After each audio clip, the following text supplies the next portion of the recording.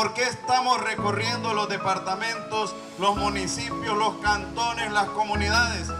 Porque somos del pueblo y nos debemos al pueblo y vamos a estar siempre al lado del pueblo salvadoreño.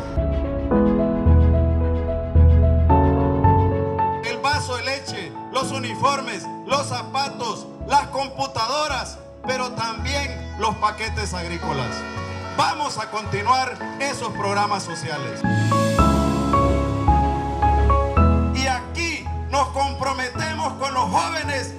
Vamos a generar más educación y más empleo para la juventud salvadoreña.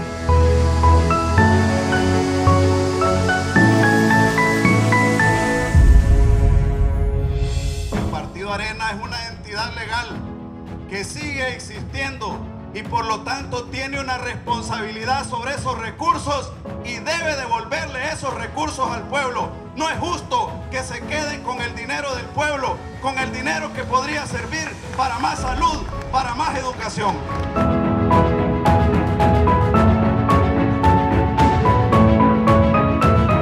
Les quiero decir que Karina y yo, acompañados y con la fuerza de nuestro gran partido, el FMLN, vamos a construir un país cada vez mejor.